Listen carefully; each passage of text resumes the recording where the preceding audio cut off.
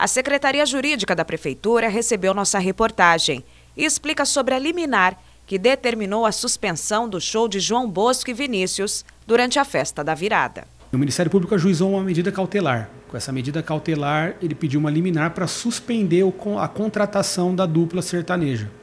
É, ingressou com essa medida, o Poder Judiciário, através da terceira vara civil, concedeu uma liminar suspendendo especificamente o show da dupla João Bosco e Vinícius. Entre os argumentos do Ministério Público está o valor do show da dupla, mas a tabela para shows de artistas em épocas específicas do ano aumentam e o Ano Novo está entre o topo da lista. Que o município defende, inclusive está demonstrado no processo administrativo da contratação, é que o valor efetivamente durante o período do Réveillon como em outras épocas festivas, festiva, como Carnaval, por exemplo, o valor é um pouco acima do praticado dentro do, do, do parâmetro normal. Então, o que nós estamos vamos apresentar, vai, vai ficar demonstrado no processo, é que o valor não foi alto, não foi um valor superfaturado, como foi afirmado, o valor é o valor praticado nessa época do ano, que é uma época totalmente diferente de outras épocas em que for fazer um contrato para a realização de um show.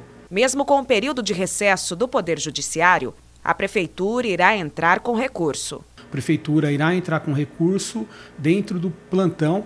É, iremos tentar do Tribunal de Justiça em plantão judiciário e despachar pessoalmente para tentar obter uma decisão favorável antes do evento para que é, a, a, haja a possibilidade da dupla se apresentar normalmente como já está programado existe a possibilidade da Justiça determinar a suspensão definitiva do show.